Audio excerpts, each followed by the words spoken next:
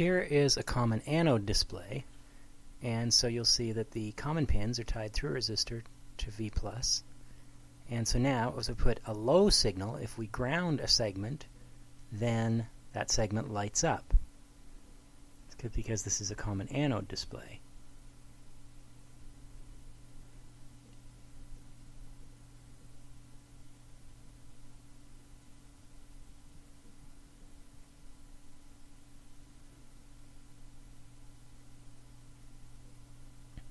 Now again, if I take out the resistor for one of the common pins, so the one of the common pins isn't connected to VCC, then as we see, that again the segments still light up because the common pins are actually tied together inside. So either one of them by itself will work. Here I'll disconnect the other common pin and reconnect the first one through a resistor to VCC. And again, once that common pin is connected, then again the segments light up. So either common pin by itself works.